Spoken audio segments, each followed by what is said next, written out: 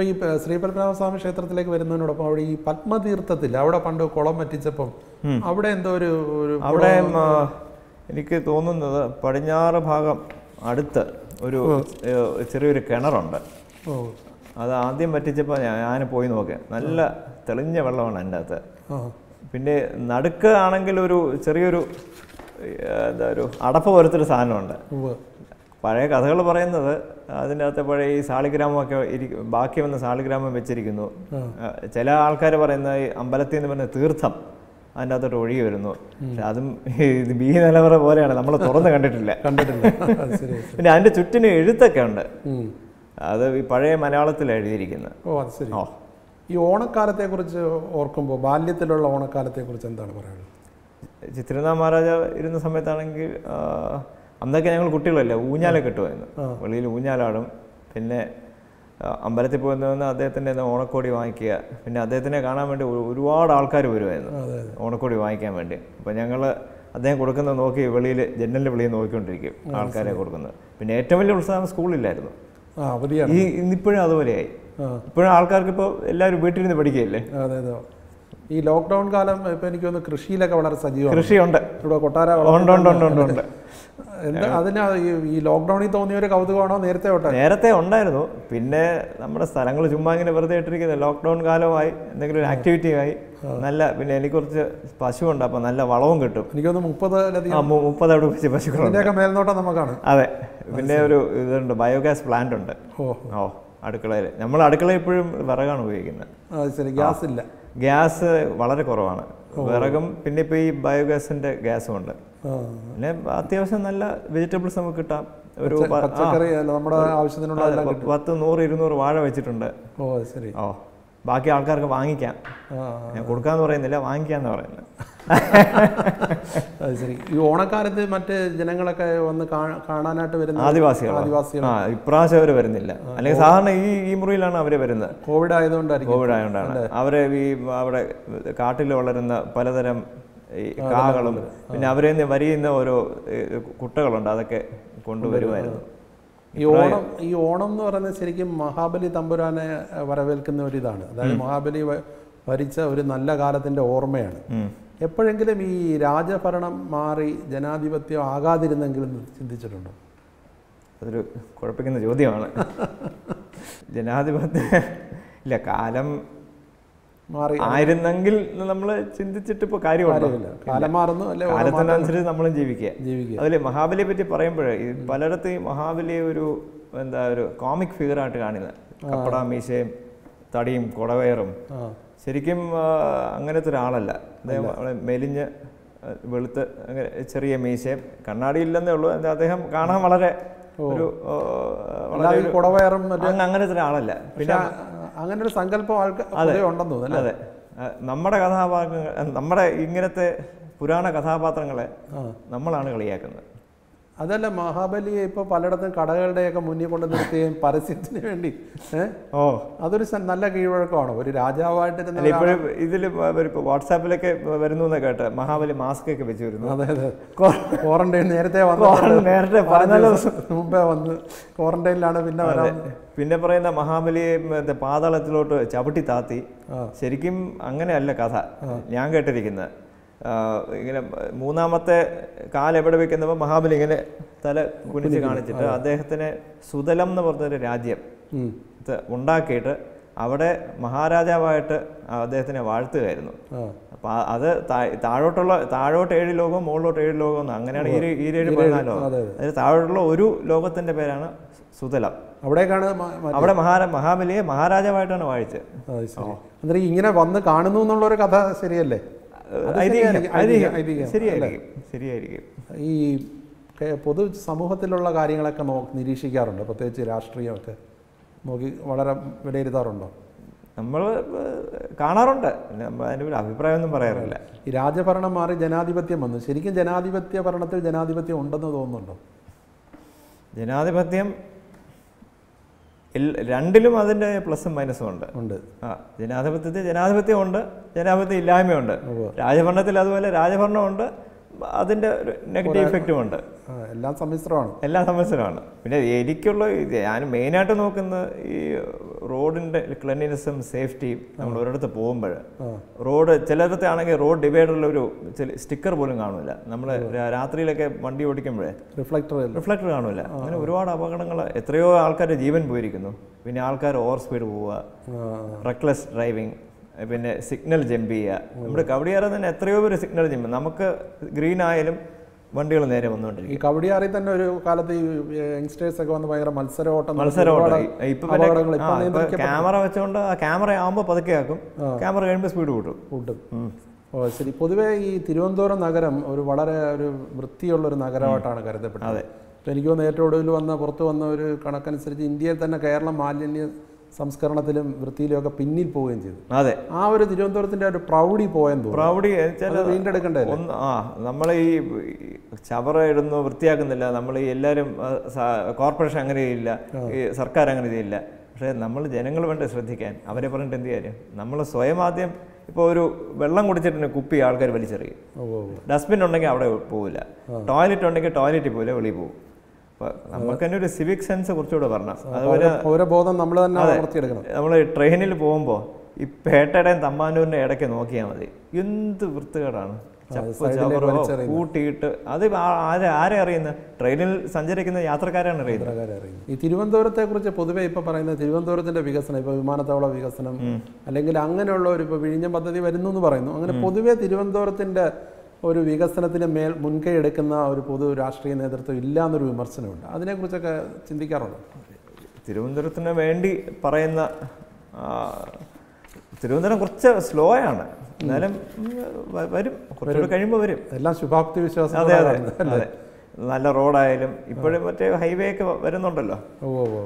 നമുക്ക് ഞാൻ പറയുന്നത് കുറച്ചുകൂടി വേഗത്തിൽ ഈ ഇത് പറഞ്ഞു ഡെവലപ്മെന്റ് വേഗത്തിൽ പറഞ്ഞു ഇപ്പോൾ നമ്മൾ നമ്മളൊരു നാഷണൽ ഹൈവേ തന്നെ ഒരു ഫോർ ലൈൻ റോഡ് സാങ്ഷനായി ആയി അത് നമ്മൾ വണ്ടി ഓടി തുടങ്ങുമ്പോൾ എട്ട് വർഷം ആവരുത് മാക്സിമം ഒരു വൺ ആൻഡ് ഹാഫ് ടു ഇയേഴ്സിൽ അത് കംപ്ലീറ്റ് ചെയ്യണം. ചെയ്യണം. ഇപ്പോൾ ഈ രാജഭരണത്തിന്റെ കാര്യം പറഞ്ഞപ്പോഴാണ് ഈ ഇപ്പോൾ ഇന്ത്യയിലെ മൊത്തത്തിൽ നോക്കുകയാണെങ്കിൽ പല രാജകുടുംബങ്ങളിൽ നിന്നും ഇപ്പോൾ പ്രത്യേകിച്ച് ഗാളിയർ രാജകുടുംബത്തിൽ നിന്നും എല്ലാവരും രാഷ്ട്രീയത്തിലേക്ക് വരുന്ന ഒരുപാട് ആൾക്കാരുണ്ട്. പക്ഷെ തിരുവിതാംകൂർ രാജകുടുംബത്തിൽ നിന്ന് ആരും അങ്ങനെ വരാറില്ല. ഇല്ല. അതെന്താ? എപ്പോഴെങ്കിലും രാഷ്ട്രീയത്തിൽ ഇറങ്ങണമെന്ന് തോന്നിയിട്ടുണ്ടോ? രാഷ്ട്രീയത്തിൽ മിക്കവാറും ഒരുപാട് സൈഡിൽ നിന്നൊക്കെ വിളി വന്നിട്ടുണ്ട്. ഇറങ്ങാനായിട്ട്. ആ പക്ഷേ പോയിട്ടില്ല. വിവിധ രാഷ്ട്രീയ പാർട്ടികളെ ഉണ്ട്. സംബന്ധിച്ച്. ഇപ്പൊ നമുക്ക് എല്ലാ രാഷ്ട്രീയ പാർട്ടികളെയും അടുപ്പമാണ്. അടുപ്പമാണ്. നമുക്ക് എല്ലാവരെയും ആവശ്യമുണ്ട്. അപ്പോൾ ഒരു നമ്മൾ രാഷ്ട്രീയ പാർട്ടി ചേർന്നാൽ മറ്റേ ഒരു സ്വാഭാവികമായിട്ട് അവർക്ക് അവരുടെ അവർ ആ എതിർപ്പാവും. അപ്പോൾ വേണ്ട വെറുതെ എന്തിനാ? അങ്ങനെ ഒരിക്കലും ചേരണ്ട ഞാൻ ചേരുന്ന ആസ് നൗ ചേരാൻ ഉദ്ദേശമില്ല. എനിക്ക് തോന്നുന്നു മുഖ്യമന്ത്രി പിണറായി വിജയൻ അധികാരമേൽക്കുന്ന വേളയിൽ അദ്ദേഹത്തെ പോയി കാണുകയും അതെ കഴിഞ്ഞിട്ട് മുഖ്യമന്ത്രി ആയി കഴിഞ്ഞിട്ട് അദ്ദേഹത്തിനെ പോയി കണ്ടു. അദ്ദേഹത്തെ പോയി കണ്ടിരുന്നു. കണ്ടു ക്ലിഫ് ഹൗസിൽ പോയി എങ്ങനെയുണ്ടായിരുന്നു പ്രതികരണം വളരെ നന്നായിരുന്നു. ഞങ്ങൾ ഞങ്ങളൊരു ഏകദേശം അരമണിക്കൂർ സംസാരിച്ചുകൊണ്ടിരുന്നു പല കാര്യങ്ങളും.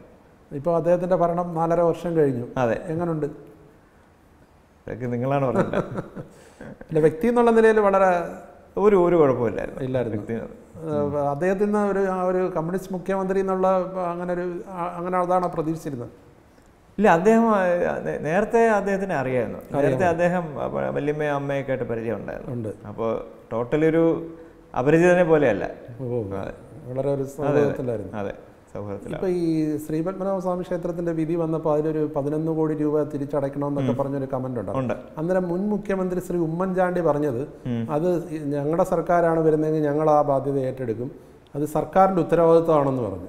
അത് ശരിക്കും ഈ ശ്രീ പത്മനാഭ സ്വാമി ക്ഷേത്രം എന്ന് പറയുന്ന ഒരു പബ്ലിക് ടെമ്പിളും കൂടാണ്. ഒരുപാട് അതെ പബ്ലിക് ടെമ്പിൾ ഭക്ത- ഭക്തജനങ്ങളെല്ലാം ഈ പതിനൊന്നര കോടി ഏതിന്റെയൊക്കെയാണ് നമുക്ക് കിട്ടിയിട്ടില്ല അതെ. അല്ല അത് സർക്കാർ അടയ്ക്കാൻ സർക്കാർ അടയ്ക്കണമെന്നാണ് ഉമ്മൻചാണ്ടി ആവശ്യപ്പെട്ടത്. എന്നിട്ട് ഉമ്മൻചാണ്ടി ഒരു പടിയുടെ കടന്ന് പറഞ്ഞു അവരാണ് ഇനി അധികാരത്തിൽ വരുന്നതെങ്കിൽ ഇത് ഉറപ്പായിട്ട് അവർ പറഞ്ഞു.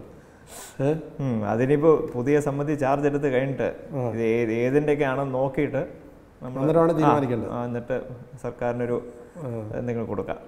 ഈ ഇപ്പോഴത്തെ രാഷ്ട്രീയത്തിൽ വളരെ അനിഷ്ടം തോന്നുന്ന എന്തെങ്കിലും കാര്യമുണ്ടോ? പൊതുവെ ഇതിങ്ങനല്ല ചെയ്യേണ്ടത് അല്ലെങ്കിൽ എന്തെങ്കിലും ഒരു അതൃപ്തി തോന്നുന്ന കാര്യങ്ങളുണ്ട്? കേരളത്തിലോ ഇന്ത്യയിലോ ലോകത്തിലോ? എവിടെയാണ്? കേരളത്തിൽ നിന്ന് പറയാൻ ബുദ്ധിമുട്ടുണ്ടോ? അതിനെ പറ്റിയൊന്നും പറയാനില്ല ഇല്ല ഇല്ല. ഇല്ല ഇല്ല ഇല്ല. എല്ലാം എന്താ പറയുന്നത് നടക്കേണ്ട പോലെ നടക്കും. ഇപ്പോൾ നമുക്ക് അതൃപ്തിയാണെങ്കിൽ എനിക്കിപ്പോൾ അതൃപ്തിയാണെങ്കിൽ മറ്റവർക്ക് തൃപ്തിയായിരിക്കും. സംഭവാമി യുഗ. സംഭവാമി യുഗേ. അത് മറ്റേ നമ്മുടെ ഈ റോക്കറ്റ്സ് ഉണ്ടല്ലോ ഇവിടെ ശ്രീഹരിക്കോട്ടയിൽ നിന്ന് വീണ റോക്കറ്റ്. നമ്മുടെ തുമ്പ തുമ്പയല്ല ബി എസ് എസ് സിന്ന് റോക്കറ്റിന്റെ മുകളിൽ എന്താ എഴുതി വെച്ചിരിക്കുന്ന അറിയാം? സത്യമേവ ചെയ്ത അതെ അതെ സത്യം എപ്പോഴും ട്രൂത്ത് വിൽ സത്യം എപ്പോഴും ജയിക്കും. ട്രൂത്ത് വിൽ പ്രിവെയിൽ അതെ അത് ഇന്നല്ലെങ്കിൽ നാളെ നാളെ അല്ലെങ്കിൽ മറ്റന്നാ ചിലപ്പോൾ പത്ത് വർഷം കഴിഞ്ഞായിരിക്കും ചിലപ്പോൾ പതിനൊന്ന് വർഷം കഴിഞ്ഞായിരിക്കും. ഇപ്പോഴത്തെ ഒരു മെയിൻ ആക്ടിവിറ്റി എന്താണ്? ബിസിനസ് ആണോ? ബിസിനസ് ഉണ്ട്. നമ്മളെ ചെറിയൊരു ആസ്പിൻ മോൾ എന്ന കമ്പനി ഉണ്ട്. അതിന്റെ അതിന്റെ ഡയറക്ടറാണ് പിന്നെ ശ്രീ പത്മനാഭസ്വാമി ടെമ്പിൾ ട്രസ്റ്റിന്റെ ട്രസ്റ്റിയാണ് പിന്നെ എനിക്ക് സ്പോർട്സുമായിട്ട് നല്ല കമ്പമാണ് ഓ ശരി. ഒരു ബാഡ്മിന്റൺ കോർട്ടുണ്ട് ഇവിടെ കവടിയാർ തന്നെ. നാല് ഇൻഡോർ കോർട്ടാണ് ആ വൈകിട്ട് ഞാനും വൈകിട്ടൊരു കുറച്ച് നേരം പോയി കളിക്കും. കളിക്കുമല്ലേ? ബാഡ്മിന്റണിലാണ് താല്പര്യം. ബാഡ്മിന്റൺ ഉണ്ട്. പിന്നെ ടെന്നീസ് കളിക്കും. പിന്നെ അല്പം സൈക്കിൾ ചവിട്ടും. ഓ ശരി. പഠിക്കുന്ന കാലത്ത് എങ്ങനെ? വലിയ സൗഹൃദങ്ങളുണ്ടായിരുന്നു? അതോ ഇവിടുന്ന് എനിക്ക് ഇല്ല ഇവിടുന്ന് ഇവിടുന്ന് കാറിൽ സ്കൂളിൽ കൊണ്ടുവിടും. ഉച്ചയ്ക്ക് ഊണ് കഴിക്കാൻ തിരിച്ച് വിളിച്ചുകൊണ്ടുവരും തിരിച്ച് ഊണ് കഴിഞ്ഞ് തിരിച്ച് കാറിൽ കൊണ്ടുവിടും. തിരിച്ച് അതിന് തിരിച്ച് കാറിൽ കൊണ്ടുവരും വരും. അത് വലിയ വിഷമം ഉണ്ടായിരുന്നു അത് ഇല്ല ഉച്ചയ്ക്ക് ഉച്ചയ്ക്ക് വൈകുന്നേരം വരുമ്പോൾ കാറ് ഫുള്ളായിരിക്കും കൂട്ടുകാരൻ കയറ്റി ഓ പഴയ അംബാസഡർ കാറാ. മിക്കവാറും ഒരു ഒരു പത്ത് പതിനഞ്ച് പേരെങ്കിലും കാണും. ഓരോരുത്തരെ വഴിയിൽ ഇറക്കി ഇറക്കി വിട്ട്. ലിഫ്റ്റ് ഓ ശരി. ആ കോളേജിലായപ്പോഴും അന്ന് കാറ് മാറ്റി അന്ന് പെട്രോളിന് വില കൂടിയുണ്ട്. അന്ന് പിന്നെ ഒരു വാൻ മാറ്റി സ്റ്റാൻഡേർഡ് ട്വന്റി എന്ന് പറഞ്ഞു. അപ്പോൾ അതിന്റെ അകത്തൊരു പത്ത് ഇരുപത്തഞ്ച് മുപ്പത് പേര് കാണും. മാറി മനസ്സിലായത്. First stop Paruthippara Kesavadasapuram Pattom P M G എല്ലാം ഇറക്കി- ഇറക്കി ഇറക്കി വരുന്നു വരുന്നത്. ഞാൻ വരും. ശരി. അത് അതിനൊന്നും ഇവിടെ വീട്ടിൽ അങ്ങനെ ഇല്ല അതൊന്നും കുഴപ്പമൊന്നുമില്ല. വീട്ടിൽ എന്തെങ്കിലും നിയന്ത്രണങ്ങൾ ഉണ്ടായിരുന്നു? ഒരു പഠിക്കുന്ന കാലത്ത്? അങ്ങനെ പ്രത്യേകിച്ച് നിയന്ത്രണം. വെച്ചാൽ വെളിയിൽ അധികം പോവാറില്ലല്ലോ. ഇല്ല. എപ്പോഴും വീട്ടിൽ തന്നെ ഉണ്ട്. അതെ പിന്നെ ഒറ്റയ്ക്ക് ഈ വെളിയിൽ സൈക്കിൾ ചവിട്ടുന്നു ഒറ്റയ്ക്ക് വെളിയിൽ സൈക്കിളും ചവിട്ടാൻ പാടില്ല എന്ന് പറയും. ഓ ശരി. അല്ല ഒരു ബാല്യം അല്ലെ കൗമാരം യൗവനം എങ്ങനെ? എങ്ങനെയാണ് വളരെ ഒരു സ്വതന്ത്രമായ ലോകമാണോ? അതോ ഒരു വളരെ സ്വതന്ത്രം. ഞാൻ അങ്ങനെ പുറത്ത് അധികം ഒറ്റയ്ക്കധികം ഇല്ല എല്ലാം ഒന്നീ ഡ്രൈവർ അല്ലെങ്കിൽ അച്ഛന്റെ അമ്മയുടെ കൂടെ. പിന്നെ സ്കൂളും കോളേജും എക്സ്കർഷൻ ഒന്നും പോയിട്ടില്ല. ഇല്ല എനിക്ക് പോകാനൊരു ഇത് തോന്നില്ല പോയില്ല. നല്ല സുഹൃത്തുക്കൾ അന്നത്തെ ഇപ്പോഴും കണ്ടിന്യൂ ഉണ്ട് ഉണ്ട് ഉണ്ട് സ്കൂൾ സ്കൂളിലെ സുഹൃത്തുക്കളൊക്കെ ഉണ്ട് ഇപ്പോഴും. ഓ. വായന സംഗീതം ഇതിലൊക്കെ താല്പര്യമുണ്ടോ? വായന അധികമില്ല. ഇല്ല. ഇല്ല. മ്യൂസിക്? മ്യൂസിക് അല്പം ഉണ്ട്. അവർ ഒരു നാലഞ്ച് വർഷം വീണ പഠിച്ചിട്ടുണ്ട്. ഓ അത് ശരി. ആ പിന്നെ ഇപ്പം അല്പം ശേഖരം പുല്ലാങ്കുഴൽ പഠിക്കാൻ ശ്രമിക്കുന്നു. അത് ശരി. ഇവിടെ സംഗീതത്തിന്റെ ഒരു പാരമ്പര്യമുള്ള അതെ ചേട്ടനാണ് പാടുന്നത്. അശ്വരനാഥ് രാമവർമ്മ. രാമവർമ്മ അറിയാതെ. അദ്ദേഹമാണ് കച്ചേരി നടത്തുകയും ലെക്ചർ ക്ലാസ്സുകൾ നടത്തുകയും പിന്നെ എല്ലാ വർഷവും സ്വാതി ഫെസ്റ്റിവൽ ഉണ്ടല്ലോ. ജാനുവരിയിൽ കുതിരമലയിൽ അതിന്റെ നേതൃത്വം അദ്ദേഹത്തിന് ആ അതെ അദ്ദേഹം വല്യമ്മയും കൂടെയാണ് സ്വാതി തിരുനാളിന്റെ പാരമ്പര്യം അതെ അതെ അതെ. മറ്റ് ഹോബി എന്ന് പറയുന്നത് എന്താണ്? വേറെ. വേറെ എന്ന് പറയുന്നത് ഫോട്ടോഗ്രാഫി പിന്നെ യാത്ര. യാത്ര. ആ സിനിമ കാണാറുണ്ടോ? സിനിമ വല്ലപ്പോഴും. ഉള്ളു. പണ്ട് തൊട്ടേ കൊറോണ വരുന്നതിന് മുമ്പ് വരെ എനിക്ക് സിനിമ തിയേറ്റർ വലിയ പ്രിയമില്ലായിരുന്നു. ഇല്ല സിനിമ അധികം കാണാറില്ല. സിനിമ ഞാൻ എനിക്കങ്ങനെ സെലക്ടഡ് മൂവീസ് ഇഷ്ടമാണ്. പിന്നെ കുട്ടികളുണ്ട്. കുട്ടികൾക്ക് ഓരോ അവരുടെ ഈ മറ്റേ കാർട്ടൂണോ അങ്ങനത്തെ സിനിമ ആണെങ്കിൽ പോവും. അത്രേ ഉള്ളൂ. അത്രേ ഉള്ളൂ. ഇപ്പോഴത്തെ ഈ മലയാള സിനിമ അങ്ങനെ സജീവമായിട്ടൊന്നും കാണാറില്ല. ഇപ്പോഴത്തെ അധികം കാണാറില്ല. ഓ. ടി വി ടെലിവിഷനൊക്കെ വളരെയധികം ടി വി വൈകിട്ട് കാണും. വൈകിട്ട് പിന്നെ നാഷണൽ ജോഗ്രഫി പിന്നെ ബി ബി സി ന്യൂസ് ഇടയ്ക്ക് കാണും. ലോകത്ത് എന്തൊക്കെ നടക്കുന്നു എന്ന് അറിഞ്ഞിരിക്കാൻ. ഭാര്യയുടെ പേര് രശ്മി വർമ്മ. രശ്മി വർമ്മ. ഏത് കൊട്ടാരത്തിൽ? മറിയപ്പള്ളി കൊട്ടാരം. രണ്ടുപേരും കൂടാണ് പലപ്പോഴും ഫോട്ടോ എടുക്കാൻ കുട്ടികളിപ്പോൾ കുട്ടികൾ പത്താം ക്ലാസ്സിലെ. പേരൊക്കെ ഗൗരി വർമ്മ പ്രഭാ വർമ്മ. ട്വിൻസ് ആണ് ട്വിൻസ് ആണ് എത്ര നിങ്ങൾ എത്ര പേരാണ് ശരിക്കും? ഞാനും എന്റെ മൂത്ത ജ്യേഷ്ഠനും. ര- രണ്ട്. രണ്ടുപേരുള്ളൂ രണ്ടുപേരെ ഉള്ളൂ. അത് മാർത്താണ്ഡ വർമ്മ. മാർത്താണ്ഡ വർമ്മ. ഓ ഓ ഓ. ഇപ്പൊ ഈ ഓണക്കാലത്ത് എന്താണ് പരിപാടി? ഇന്നിപ്പോ ഉത്രാടം ഇന്നിപ്പോ ഉത്രാടം ആ അതെ. ഇന്നിപ്പോ പ്രത്യേകിച്ചൊന്നുമില്ല. വീട്ടിൽ നിന്ന് ഒരിടത്ത് ഇറങ്ങുന്നില്ല. ഇറ- ചിലപ്പോൾ ഈ കോട്ടയത്തെ വൈഫിന്റെ വീട് വരെ പോകണമെന്നുണ്ട് അതിനെ നോക്കട്ടെ. തിരുവോണത്തിന്റെ അന്ന് ഊണും കഴിഞ്ഞ് പോകാമെന്ന് വിചാരിക്കുന്നു. ഉം. എല്ലാവരുടെ ഒരു ഉത്സാഹം എങ്ങനെയാ നോക്കിയിട്ട്. തീരുമാനിക്കാമെന്ന് വിചാരിക്കുന്നു. ഈ തിരു തിരുവോണ ദിനത്തിൽ അമ്പലത്തിൽ ക്ഷേത്രത്തിൽ രാവിലെ പോകും രാവിലെ പോയിട്ട് വരും.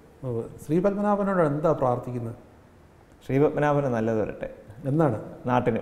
നാടിന്. ഓ നമുക്ക് നല്ലത് വരണമെന്നും പറഞ്ഞു നമ്മൾ ഈ നാട്ടിലല്ലേ? എനിക്ക് നല്ലത് പറഞ്ഞു എനിക്കത് വേണം. അപ്പോൾ ഭഗവാനെ ആശ്രയിക്കുന്ന എല്ലാ ഭക്തന്മാരെയും ഭഗവാൻ രക്ഷിക്കണം. രക്ഷിക്കും. ഓ അത് ആ ഭഗവാനിൽ അടിയുറച്ച് വിശ്വസിച്ചാൽ അത്രേ ഉള്ളൂ അത്രേ ഉള്ളൂ. നമ്മൾ ആവശ്യങ്ങൾ പറയേണ്ടതില്ല. അപ്പം അദ്ദേഹത്തിന് എന്തിനാ പറയുക? ഇപ്പോൾ ഞാൻ ചോദിക്കുകയാണ് ഇപ്പോൾ നല്ല തിരക്കുള്ളൊരു അമ്പലം ദിവസം പത്ത് പതിനായിരം പേര് വരും. ഓരോരുത്തർ ഈ പേരും നാളും പറഞ്ഞ് അർച്ചന അയക്കുമ്പോൾ ഈ അവിടെ നിൽക്കുന്ന ഏത് പോറ്റിയാണെങ്കിലും അദ്ദേഹത്തിന് പറ്റുമോ അപ്പൊ അപ്പോൾ ഭഗവാൻ അറിയാം ആര് വരുന്നു എന്ന് പോറ്റി അർച്ചന കാണിക്കുന്ന പോലെയല്ലേ തരാവൂ അല്ല അത് ഈ കോടതിയിൽ ഇതൊക്കെ വന്ന സമയത്തും പറഞ്ഞിരുന്നത് എല്ലാം ഭഗവാൻ തീരുമാനിച്ചോളൂ. ഭഗവാൻ തീരുമാനിച്ചത് തന്നെ. അതൊരു വലിയ അടിയുറച്ച ഒരു വിശ്വാസമാണ് അതെ. അല്ലേ. പ്രത്യേകിച്ച് തിരുവനന്തപുരത്ത് തന്നെ ഇപ്പൊ ശ്രീ പത്മനാഭന്റെ നാല് ചക്രം വാങ്ങിക്കുക എന്ന് പറയുന്നത് തന്നെ പത്മനാഭന്റെ ചക്രം. ഇപ്പോഴും അങ്ങനെ പറയുന്നുണ്ട് പറയുന്നവരുണ്ട്. അതുപോലെ പത്മനാഭന്റെ മണ്ണിൽ നിൽക്കുക. അതെ. അതൊരു വലിയൊരു ഒരു വലിയൊരു ശ്രീ പത്മനാഭസ്വാമി വേൾഡ് ഫേമസ് അല്ലേ? അതെ അതെ അല്ല ഇപ്പൊ ഒരുപാട് ആൾക്കാർ വിദേശത്തു നിന്നൊക്കെ വരുന്നുണ്ട്. പക്ഷേ ഈ വരുന്നവര് മുക്കാല കുറെ അധികം ആൾക്കാരും ഇത് കാണാൻ വേണ്ടി വരുന്നത്. എന്താണ് എന്തോ ഇത് കാണാൻ വരുന്നത്? ശരിക്കും ഈ പിന്നെ അത് ഇപ്പൊ നേരത്തെ നമ്മൾ ചോദിച്ചാണെങ്കിൽ പോലും നിധി അങ്ങനെ ഒരു സുരക്ഷിതമായ രീതിയിൽ ഒരു പ്രദർശനത്തിന് വെക്കുന്നത് നല്ലതായിരിക്കില്ലേ? അതോ അപകടം ഈ ക്ഷേത്രത്തിന്റെ വെളിയിൽ കൊണ്ടുപോയാൽ പിന്നെ നമുക്ക് ഏത് രീതിയിലേക്ക് വരും ഇനി പുതിയ കമ്മിറ്റി വന്നിട്ട് എങ്ങനെയാന്ന് ഇപ്പോൾ ഒരുപാട് ഒരുപാട് സജഷൻസ് ഒരുപാട് സൈഡിൽ നിന്നുണ്ട്. അല്ലെങ്കിൽ തീരുമാനിച്ചിട്ട് നോക്കാം. എന്തായാലും ഒരു മ്യൂസിയമായിട്ട് തുടങ്ങുന്ന എനിക്ക് തോന്നുന്നില്ല. തോന്നുന്നില്ല. ശരി.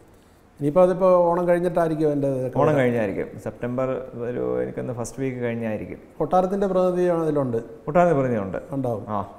പിന്നെ ഈ പിന്നെ തന്ത്രി കാണും. പിന്നെ ജഡ്ജി. പിന്നെ കേരള സർക്കാരിന്റെ ഒരു നോമിനി കേന്ദ്ര സർക്കാരിന്റെ ഒരു നോമിനി നോമിനിയുണ്ട് അമ്മയെ കുറിച്ച് ചോദിക്കും അമ്മ ഒരു വലിയ എഴുത്തുകാരിയും കൂടെ ഉണ്ട്. ഇപ്പൊ ശ്രീ ഈ കൊട്ടാരത്തിന്റെ കാര്യം പത്മനാഭ പറ്റി ബുക്കൊക്കെ എഴുതിയിട്ടുണ്ട്. ആ. ഒരു ടേസ്റ്റ് അത് അമ്മ എഴുതുന്നതൊക്കെ വായിക്കാറുണ്ട് ഡിസ്കസ് ചെയ്യാറൊക്കെ ഉണ്ടോ?